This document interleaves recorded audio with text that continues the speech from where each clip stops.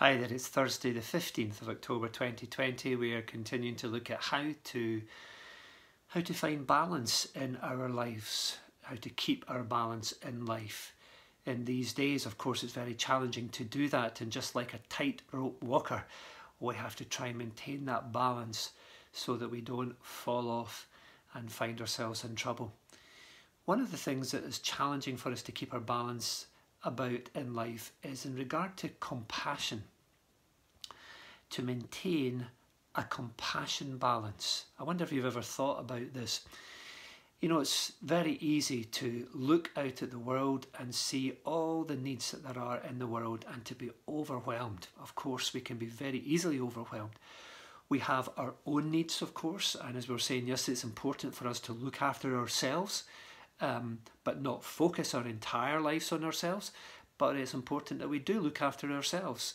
So we have needs. And then, of course, there are needs in our family and needs with other people that we know. And again, it's important for us to look after others, but not, of course, overbalance in that direction so that we become burned out by looking after people too much and we then neglect ourselves. And that's not right. But when we look even wider than that, we see the needs that there are in our communities, amongst our neighbours, um, in, in, our world, in, in the whole world. There are so many needs. I don't know how many um, times you have looked at something on the television or thought, oh, look at look at those people, look at these poor people in that in that tsunami hit area, or look at these poor people in this other country, or or look at this situation which needs help and needs funding and needs support and such like. I don't know whether you are somebody who gives to charity, whether you're able to do that. Of course, it is a blessing to be able to give, and the Bible says it's more blessed to give than to receive, and it's it's wonderful to be able to give. But when you start to give, and then you look at another worthwhile charity and you think, oh, really, they need my money as well. So what do you do? Do you take it out of one and give to the other, or do you increase your giving and and start up another direct debit to somebody else? But then what about what about the need for clean water? What about the need for looking after an environment? What about the need to save the endangered species of the world? What about the need for looking after animals that are abused in our own nation? What about the need for looking after women who are being trafficked into the sex industry and what about this what about that? Where where do you stop with something like that? And we can feel so guilty that we're not able to give and support all the different needs that there are out there. What do we do about that? How do we maintain that balance that compassion balance between on the one hand not caring which is not something we want to do and on the other hand caring so much that we just become overwhelmed and we, we become financially ruined because we are giving beyond our means. How do we maintain that balance?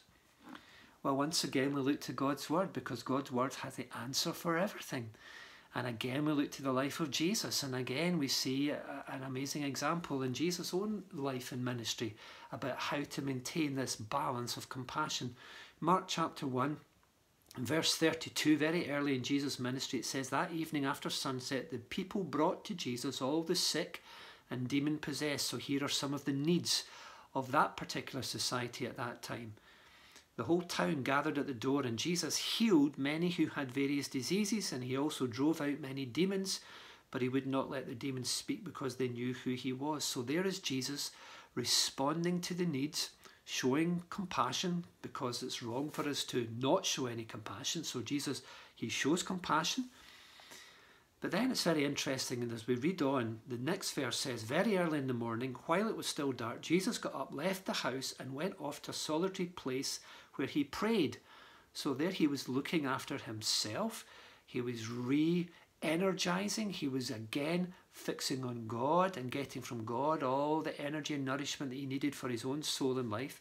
And Simon and his companions went to look for him, and when they found him, they exclaimed, Everyone is looking for you. Here are the overwhelming needs turning up in Jesus' doorstep once again, demanding his attention, just as they are today on our doorstep, in our email inbox, online, etc.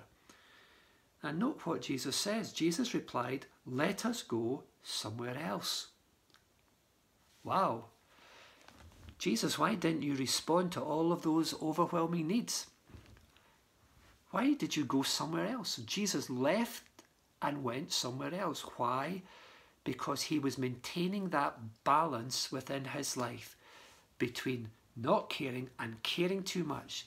He had shown his care, he had responded to the needs of the people there as much as he felt it was right for him to do at that time.